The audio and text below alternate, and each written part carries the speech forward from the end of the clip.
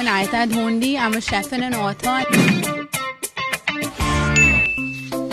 One would, would be Chef Vikas Khanna because I think we have a lot of fun together. And also Chef Ranveer Brar. He has a lot of knowledge on food, so there's always something to learn from him.